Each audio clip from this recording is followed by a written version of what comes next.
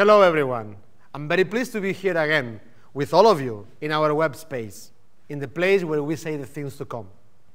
So last time we were talking about our revolutionary introduction in NAB exhibition, the low-cost P2 cards. This time I don't want to talk about hardware, but I want to talk about what's inside our P2 cards. If probably you remember when we introduced our new lineup of codecs, thinking in the IT environment, we introduced the H.264 codecs, what we call AVC World. For professional environment, we introduced AVCCAM lineup, which is obviously based on this H.264 codec up to 24 megabits per second.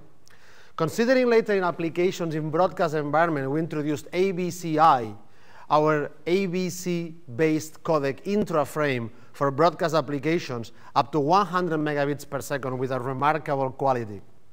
And this time, I want to share with you a new introduction. Because as we promised, we would keep developing our codecs to make your investment safe.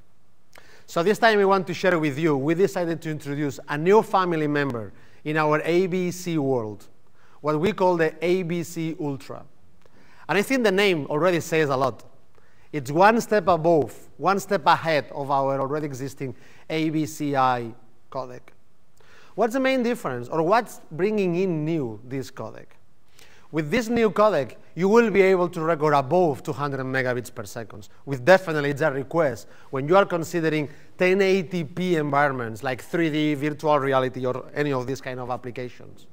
Definitely the best for the best quality productions.